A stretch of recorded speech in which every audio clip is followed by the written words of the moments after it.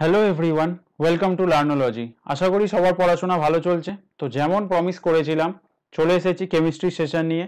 সকালে বায়োলজির video upload করেছিলাম হিন্দিতে, আর বিকেলে চলে এসেছি কেমিস্ট্রির প্রথম ক্লাস নিয়ে। আমরা টার্গেট করছি মেনলি আরআরবি এনটিপিসিআর এসএসসি এক্সামসকে কিন্তু শুধু আরআরবি এনটিপিসিআর এসএসসি এক্সামস না, তার সাথে ডাব্লিউবিপিএসসি পুলিশের এক্সাম এবং ডাব্লিউবিসিএস এর জন্য এই সেশন হেল্পফুল হবে। তো ভিডিওটা পুরোটা দেখবে এবং ছোট ভিডিও বানাবো, এক একটা টপিকের ওপর করব এবং এক একটা টপিককে খুব প্রিসাইজলি কভার করব। যেমন বায়োলজিতে করেছি সেম ভাবে কেমিস্ট্রিকেও কভার করতে করতে চলবো আগে। তো চলো দেখে নেওয়া যাক আজকে সেশনের টপিক আজকে সেশনের টপিক হচ্ছে টাইপস অফ রিয়াকশন কত ধরনের রিয়াকশন হয় সেটা আমরা আজকে সেশনে দেখব। তো দেরি না করে সেশন শুরু করা যাক। আর সেশন শুরু করার আগে একটা কথা বলে নিই যে যদি চ্যানেলে নতুন হও তো চ্যানেল সাবস্ক্রাইব করতে ভুলবে না। এবং বেল আইকন প্রেস করতেও ভুলবে না।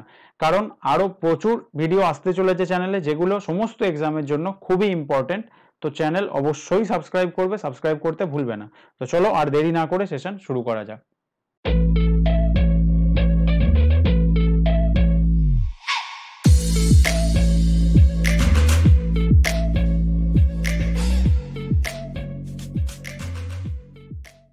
দেখো রিয়াকশন কত ধরনের সেটা জানার আগে আমাদের জানতে হবে রিয়াকশন কাকে বলে। তো রিয়াকশন কাকে বলে সেটা যদি আমরা দেখি, তাহলে দেখো কি লেখা আছে? আর reaction is a process that leads to the physical or chemical transformation of one set of substances to another মানে কি? রিয়াকশন হলো এমন একটা প্রসেস যেটা কি করে? একটা বস্তুর ফিজিক্যাল বা কেমিক্যাল ট্রান্সফরমেশন ঘটায়। ভৌত বা রাসায়নিক ধর্মের পরিবর্তন ঘটায় যে প্রসেস তাকেই আমরা বলি রিয়াকশন এবার দেখে নেওয়া যাক রিয়াকশনকে কটা টাইপে ভাঙা যায়। রিয়াকশনকে মেনলি দুটো ভাগে ভাঙা যায়। একটা হচ্ছে ফিজিক্যাল রিয়াকশন আর একটা হচ্ছে কেমিক্যাল রিয়াকশন ফিজিক্যাল রিয়াকশন কোনগুলো? ফিজিক্যাল রিয়াকশনের বৈশিষ্ট্য আগে কি? ফিজিক্যাল রিয়াকশন রিভার্সেবল হয়। রিভার্সেবল মানে কি? কোনো কন্ডিশনের জন্য যদি ফিজিক বস্তুটার ভৌত ধর্মের পরিবর্তন ঘটে, সেই কন্ডিশনটাকে সরিয়ে নিলে বস্তুটা আবার আগের অবস্থায় ফিরে যেতে পারে। রিভার্সেবল রিয়াকশন হয়। এবং এটা ফিজিক্যাল রিয়াকশন কি হয়? আনস্টেবল হয়। আনস্টেবল কেন? কারণ যে ধর্মটার জন্য, যে বাইরের পরিবেশটার জন্য পরিবর্তন ঘটছে, সেটাকে সরিয়ে নিলে বস্তুটা আবার আগের অবস্থায় ফিরে যায়। এক্সাম্পল কি? এক্সাম্পল যেমন আইস জল থেকে বরফ যেমন গলে জল হয়ে যায় টেম্পারেচার দিলে আবার টেম্পারেচার কমিয়ে নিলে কি হয়? জল থেকে বরফ হয়ে যায়। তো এটা রিভার্সেবল প্রসেস তাই এটাকে বলা হয় ফিজিক্যাল রিয়াকশন এখানে শুধু জলের ভৌত ধর্মের পরিবর্তন ঘটছে, একটা কঠিন, একটা তরল। কিন্তু রাসায়নিক ধর্মের কোনো পরিবর্তন ঘটছে না। অন্যদিকে কেমিক্যাল রিয়াকশন কি? কেমিক্যাল রিয়াকশন ইরিভার্সেবল হয়। ইরিভার্সিবল হয়, এটা চেঞ্জ হয় না। কেমিক্যাল রিয়াকশন পার্মানেন্ট হয়। রাসায়নিক ধর্ম একবার পাল্টে গেলে সেটা আর আগের অবস্থায় ফেরত আসে না। ইরিভার্সিবল হয় স্টেবল হয়। এর এক্সাম্পল কি? আমরা জানি লোহা। লোহাকে বায়ুর সংস্পর্শে রাখলে তাতে জং পড়ে যায়।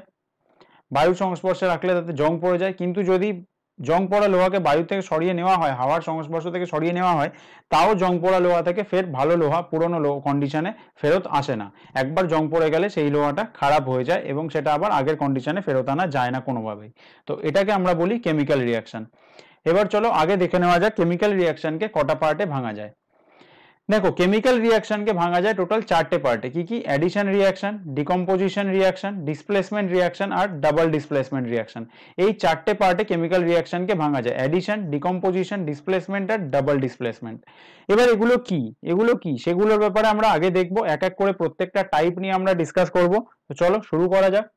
প্রথম টাইপ আমরা দেখে নেব কি? অ্যাডিশন রিয়াকশন দেখো অ্যাডিশন রিয়াকশনকে কি বলা হয়? অ্যাডিশন রিয়াকশনকে অলসো কম্বিনেশন রিয়াকশনও বলা হয়। কম্বিনেশন রিয়াকশনও বলা হয় অ্যাডিশন রিয়াকশনকেই তো কোথাও কম্বিনেশন রিয়াকশন দেখলেও ভাববে, সেটা অ্যাডিশন রিয়াকশনের ব্যাপারেই কথা বলছে।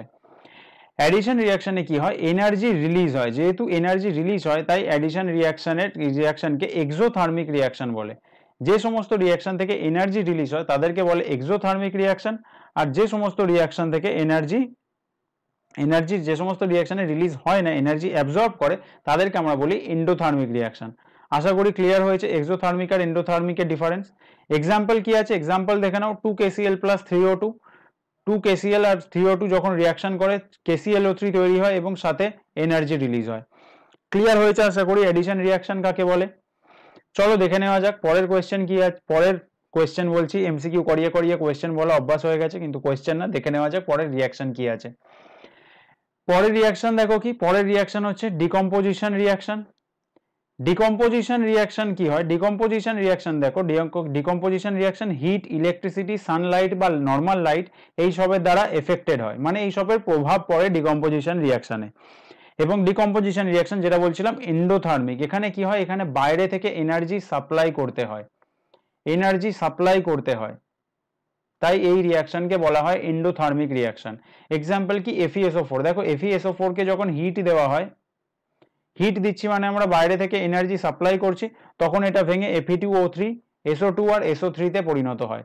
ভেঙে যায় Fe two O three SO two আর এসও থ্রিতে পরিণত হয় এফিএসও ফোর যখন বাইরে থেকে হিট দেওয়া হয়। তো এই যে হিট দেওয়া হলো এনার্জি দেওয়া হলো, এই জন্য এটাকে বলা হয় এন্ডোথার্মিক রিয়াকশন আর এই কারণেই বলা হয় যে decomposition reaction heat electricity sunlight এইসবের দ্বারা এফেক্টেড হয়। এছাড়া আরও একটা এক্সাম্পল হতে পারে ডিকম্পোজিশন রিয়াকশনে সেটা হলো ইলেকট্রোলাইসিস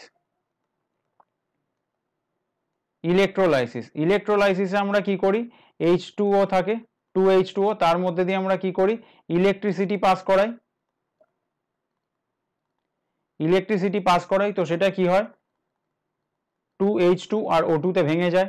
টু ইস টু ওয়ানে ভাঙে, এটা আমরা জানি। তো ইলেকট্রোলাইসিস ও ডিকম্পোজিশন রিয়াকশনের উদাহরণ। এখানে ইলেকট্রিসিটির দ্বারা প্রভাব ফেলা হয় রিয়াকশনের উপর। এবং এটাও এন্ডোথার্মিক কারণ ইলেকট্রিসিটির থ্রু আমরা এনার্জি সাপ্লাই করছি এখানে রিয়াকশনটা ঘটানোর জন্য। আশা করি ক্লিয়ার হয়েছে। চলো পরের রিয়াকশন দেখে নেওয়া যাক।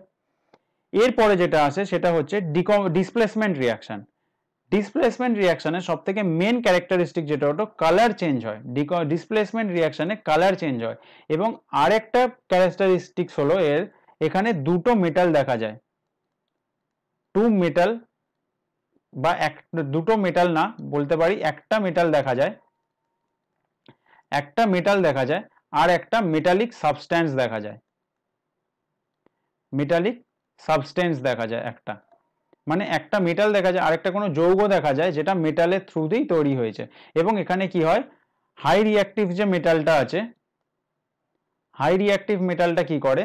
লো রিয়াক্টিভ মেটালকে রিপ্লেস করে। লো রিয়াক্টিভ মেটালকে রিপ্লেস করে। আমি এখানে ডিটেলসে পুরো লিখছি না, কারণ মুখে বলছি এবং শর্ট শর্ট পয়েন্টে লিখছি। তো আশা করি তোমরা যখন নোটস বানাবে, এটা ভালোভাবে বানিয়ে নেবে পুরোটা। হাই রিয়াক্টিভ মেটাল কি করে? লো রিয়াক্টিভ মেটালকে রিপ্লেস করে। যেমন দেখো, এখানে এক্সাম্পল কি হয়? ধরো এ প্লাস বি আর সি বিসি একটা এরকম কম্বিনেশন আছে। বি আর সি দুটো আলাদা আলাদা আলাদা আলাদা মৌল যুক্ত হয়ে একটা যৌগ তৈরি করেছে এবং সাথে এ আছে। তো রিয়াকশনের পর কি হয়? দেখা যায় বি কে সরিয়ে এ ঢুকে গেছে এখানে এবং বি আলাদা হয়ে গেছে।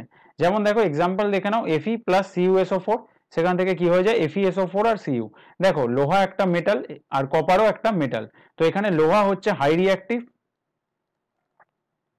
হাই রিয়াক্টিভ আর কপার হচ্ছে লো রিয়াক্টিভ তো লোহা কি করছে? কপারকে রিপ্লেস করে দিচ্ছে। কপারের জায়গায় চলে আসছে এবং লোহা কপারকে রিপ্লেস করে দিচ্ছে। তো এখানে high reactive metal low reactive মেটালকে replace করছে, তাই এটাকে বলা হয় ডিসপ্লেসমেন্ট রিয়াকশন কারণ ডিসপ্লেস করে দেয় জায়গা থেকে। আশা করি ক্লিয়ার হয়েছে।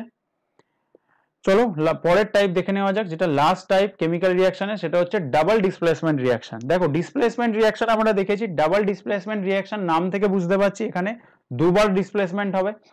আচ্ছা এইটা সব থেকে মেন পয়েন্ট মনে রাখবে ডাবল ডিসপ্লেসমেন্ট রিয়াকশন কখনোই একটা রিডক্স রিয়াকশন হতে পারবে না। এবার তোমরা বলবে রেডক্স রিয়াকশন কি? রেডক্স রিয়াকশন মানে হলো রিডাকশন আর অক্সিডেশন যে রিয়াকশনে রিডাকশন আর অক্সিডেশন একসাথে হয়, তাকে বলা হয় রেডক্স রিয়াকশন রেডক্স রিয়াকশন নিয়ে নেক্সট সেশনে আলোচনা করব। রেডক্স রিয়াকশন খুবই ইম্পর্টেন্ট ডিটেল ডিসকাস করব ডিটেল ডিসকাস করব রেডক্স রিয়াকশন নিয়ে। তো ভয় পাওয়ার কিছু নেই রেডক্স রিয়াকশন নিয়ে ডিটেলে ডিসকাস করব পরের সেশনে আপাতত ডাবল ডিসপ্লেসমেন্ট রিয়াকশনের ব্যাপারে দেখে নেওয়া যাক। দেখো ডাবল ডিসপ্লেসমেন্ট রিয়াকশনেও সেই এ আর বি এরকম দুটো যৌগ রয়েছে। দুটো মৌল নিয়ে একটা যৌগ আর সি আর ডি দুটো মৌল নিয়ে একটা যৌগ। এবার দেখো চেঞ্জ হয়ে গেছে সি এখানে চলে এসছে আর বি এখানে চলে গেছে। এ আর সি হয়ে গেছে আর এখানে বি আর ডি হয়ে গেছে। ডিসপ্লেসমেন্ট ডাবল ডিসপ্লেসমেন্ট সি এখানে বি কে ডিসপ্লেস ডিসপ্লেস করেছে। আবার বলা যায় বি এখানে সি কে ডিসপ্লেস করেছে। একই ব্যাপার ডাবল ডিসপ্লেসমেন্ট এক্সাম্পল কি দেখে নাও N two SO four plus BaCl two সেখান থেকে কি হয়ে গেল? এনএসিএল প্লাস বিএসও ফোর হ্যাঁ আরেকটা রিয়াকশন যেটা প্রেসিপিটেড প্রেসিপিটেড মানে কোনো রিয়াকশন যদি তোমরা এরকম বিকারে করো, তো ডাবল ডিসপ্লেসমেন্ট রিয়াকশনে তোমাকে এখানে নিচে কিছু পড়ে থাকতে দেখতে পাবে, যেটাকে আমরা প্রেসিপিটেড বলি। তো ডাবল ডিসপ্লেসমেন্ট রিয়াকশনে প্রেসিপিটেড পড়তে দেখা যায়। ডাবল ডিসপ্লেসমেন্ট রিয়াকশনে প্রেসিপিটেট পড়তে দেখা যায়। এটাও একটা ক্যারেক্টারিস্টিক্স মনে রাখবে। দেখো, এখানে কি হয়েছে? SO four Cl two Cl two এখানে ক্লোরিন কি করেছে? সালফেটকে ডিসপ্লেস করেছে। বা বলা যায় সালফেট এখানে ক্লোরিনকে ডিসপ্লেস করেছে। তো তাই ডাবল ডিসপ্লেসমেন্ট রিয়াকশন দুটো ডিসপ্লেসমেন্ট ঘটছে। আশা করি সবকটা টাইপ তোমাদের ক্লিয়ার হয়েছে। যেমন বলেছিলাম সেশন বেশি বড় করব না। রেডক্স রিয়াকশন নিয়ে ডিটেল ডিসকাস পরের ভিডিওতে করব। আজকের ভিডিও এখানেই শেষ করব। আশা করি ভিডিওটা তোমাদের ভালো লেগেছে। যদি ভালো লেগে থাকে, তো একটা লাইক করে দেবে এবং বন্ধুদের মধ্যে শেয়ার অবশ্যই করবে আর চ্যানেলটা সাবস্ক্রাইব করতে ভুলবে না। তো ফের দেখা হবে নেক্সট ভিডিওতে ততক্ষণের জন্য thank you and bye bye